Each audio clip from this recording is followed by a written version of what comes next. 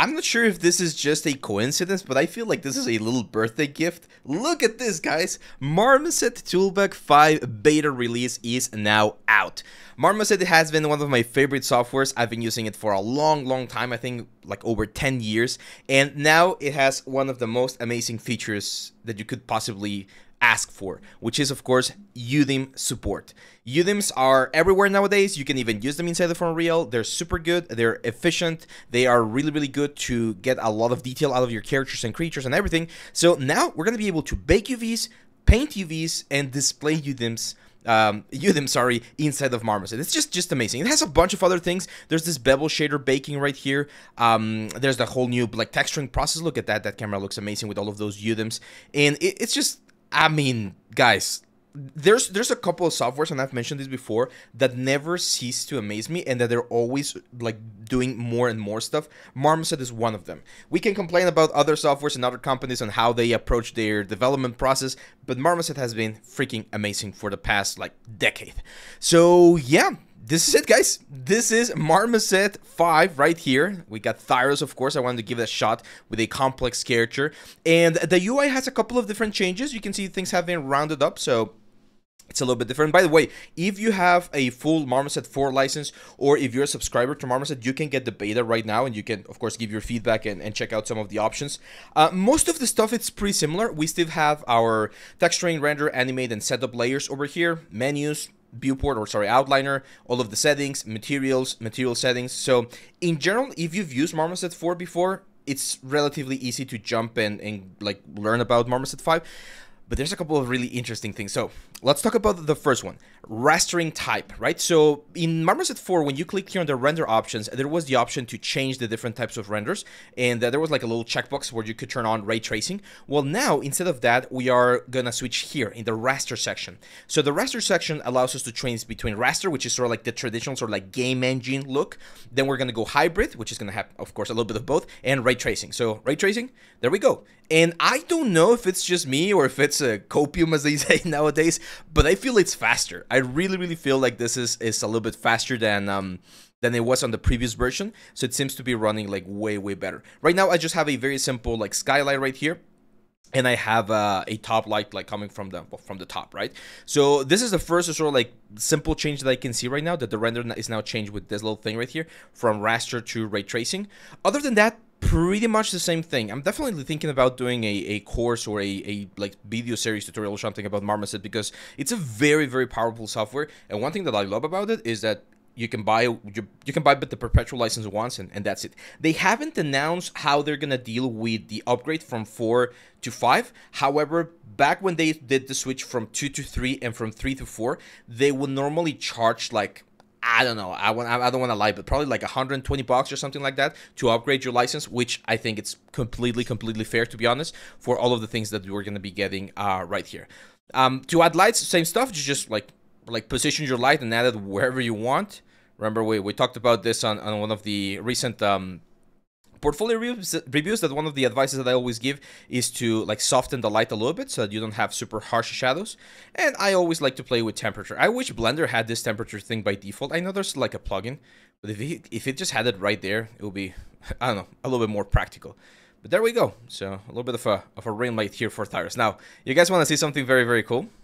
They announced, they announced that you can now use freaking fibers guys you can now use hair look at this you can go in drop a like hair mesh from traditional spline working like processes such as XGen, Ornatrix, Yeti. Uh, even in, in Blender, you can use uh, curves now instead of particle systems. So if you do your groom, if you do your preparation for the hair, you can bring it in directly into freaking Marmoset. And I have it right here. Look at that, guys it's just really really cool. I, I still like uh, trying to learn how to set it up uh, a little bit better. One thing i realized is that now the way it works is it imports the groups of splines as you can see right here. So i have my uh, different like uh, groom elements. For instance here are the eyebrows and it has certain parameters. So for instance the width so how thick the hair is gonna render. So if we like really push this quite into the big side you can see that it looks a lot more uh, intense. Because at the end of the day remember that these hair elements are just curves right? So what this system is doing is sort of like extruding actually some of the of the curves. Uh, we can change the root scale, the tip scale. This is very similar to what you can do nowadays with uh, Unreal Engine. So it's it's just really really good. I still want to like learn a little bit more about how they're setting it up so that we can modify the material a little bit more. Because one thing that I've uh, seen right now is that it seems like the albedo map is just very simple. Like I'm not sure how to change like the root color, the tip color, or give a little bit of variation between the hairs. Um, but yeah, like this looks very, very cool, guys. Like doing this instead of Maya, like trying to get this render right here instead of Maya would usually take me about 20 to 25 minutes. So being able to just have the render here in less than 30 seconds, it's just it's mind blowing, guys. It's, it's definitely a game changer. So yeah, let, us take a couple look at some of the other stuff. Now, um, Marmoset is a very strong texturing software as well. It has these things right now, the, the landscape options. So you're now going to be able to blend things if you're using again softwares like uh, uh, Gaea or what's this other name? Like terrain generator and stuff like that you're going to be able to do like big scenes. Look at this. Like it's a, it's a huge like mountain range. So if you want to do environments it's definitely going to be possible to do. This one is interesting. I don't do a lot of hard surface myself to be honest but one thing that's very very common is that you don't want to have a super high density mesh but you want to have a nice bevel on pretty much every single piece.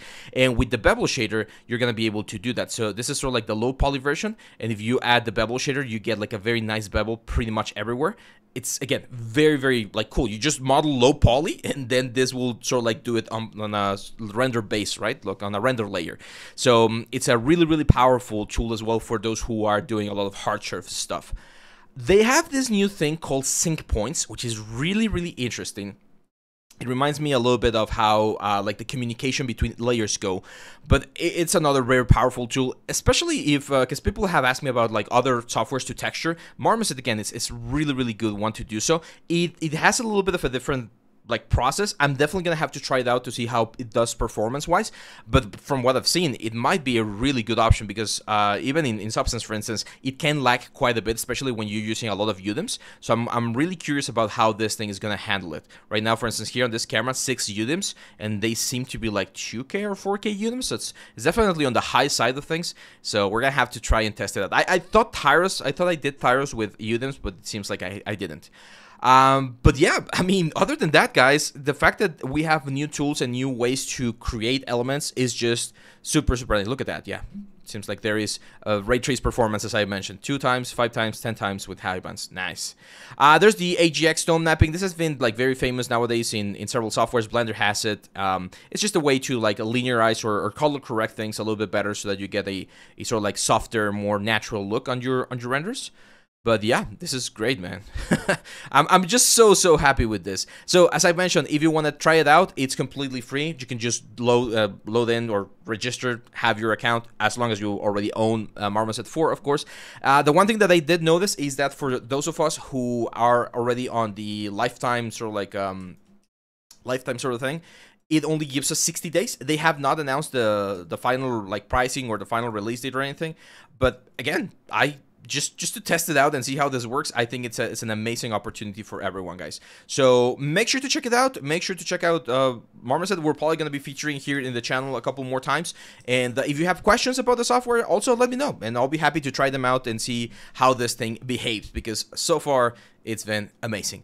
That's it guys go out there make amazing stuff. And I'll see you this Friday. Don't forget, special stream. We're going to have a really cool stream, so don't miss it. It's going to be 10 a.m., our usual time. So I'll see you there. Bye bye.